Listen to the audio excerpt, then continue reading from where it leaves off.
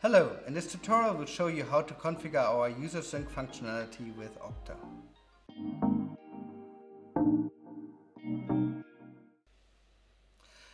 We'll use user sync to synchronize your users via the Okta API into the Atlassian application.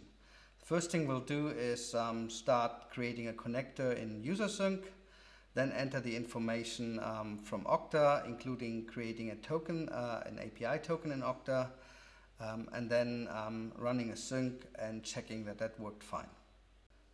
We'll use our user sync functionality to synchronize users into the Atlassian application via Okta's API and then use SAML to authenticate those users um, via single sign-on.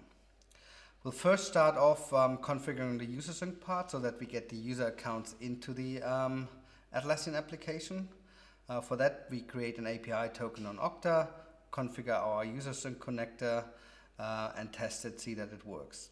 Afterwards, we look at authentication so that we um, configure the SAML integration on the Okta side, then finish our plugins configuration for the authentication and test it all together.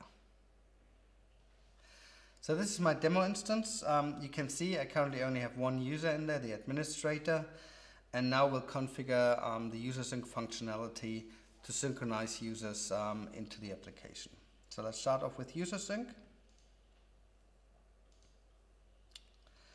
And user sync has the concept of connectors. So every API for an identity provider that we implemented um, is a connector here. You see we have the most common ones. Here we want to configure Okta and by the way you can have multiple um, uh, connectors to the same IDP or IDP type. So if you have two instances in Okta, for example, um, you can uh, synchronize both instances into here. For the tutorial, we'll just have one. So let's create Okta here.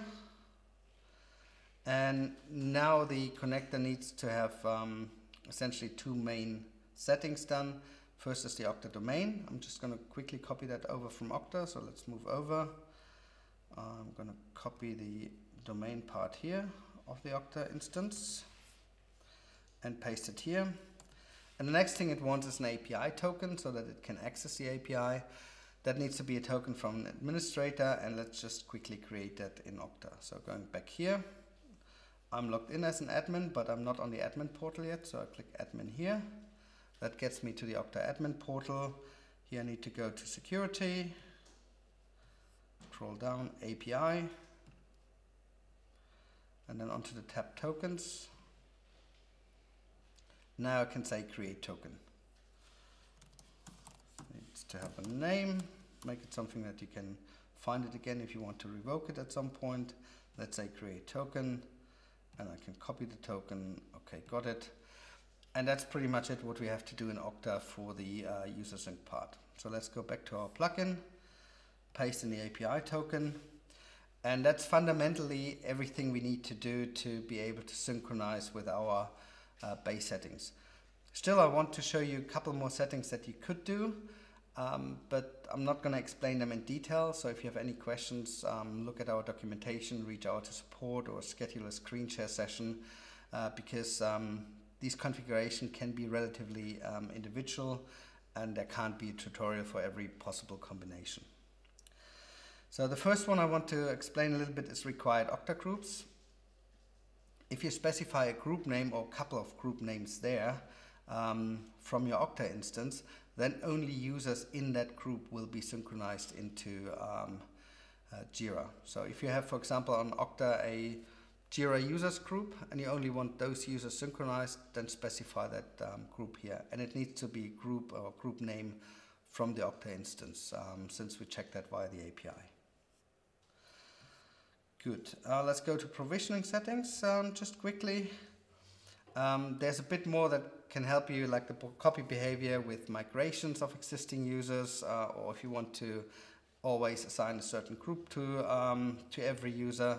There's also the potential to um, configure additional attribute mapping. So if you have more information in Okta like uh, phone numbers, manager names and those kind of things, you can add um, those mappings here. Um, and there's also a section about group management. There's also a video about group management. Uh, by default, our connector treats um, Okta as the single source of truth for groups. So if a user is in a group in Okta, it will um, uh, replicate that into Jira. If you assign a group manually in Jira and that user is not part of the group in Okta, it will get removed on the next sync. Um, but you can control that with those settings here. So if you, for example, um, want to filter some groups, that only some groups from uh, Okta come in, or that some groups are treated as local groups, other groups are managed by the IDP, then you can do that with the settings here.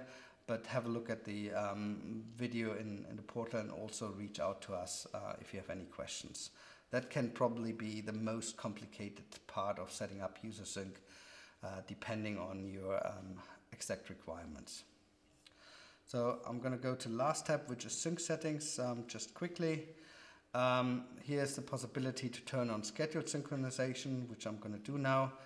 By default, we synchronize once an hour, which is fine for small and medium-sized instances. If you have very large um, Okta user bases, let's say tens of thousands of users, then you might want to tone that down a little bit. Um, feel free to reach out for um, to us uh, if you want to have some good best, uh, best practice advice here. Let's say save and return now. And then let's kick off a synchronization manually for the moment. And now you see it's um, uh, running and it's starting to add users uh, into the application. I think we have some 900 or 1000 users in that demo instance, so it will take couple of minutes to synchronize them all in. Um, but that's what UserSync does. Okay, you can see it's done with success. 835 users have been synchronized in. You can also see some of the messages, um, but essentially zero users failed. All fine here. Let's close this and just have a look at the um, user management section again. And now you can see there's a lot of users having been synchronized in um, from the um, Okta into the new Okta directory. And behind the scenes to show you that as well, um, UserSync actually for every connector configured, it creates a um, additional internal directory that behaves like any other internal directory in Jira. So it uh, adheres to the directory search order. You can just use it like any other directory that you are used to in Jira. Um, and that's where the users get synchronized into from Okta.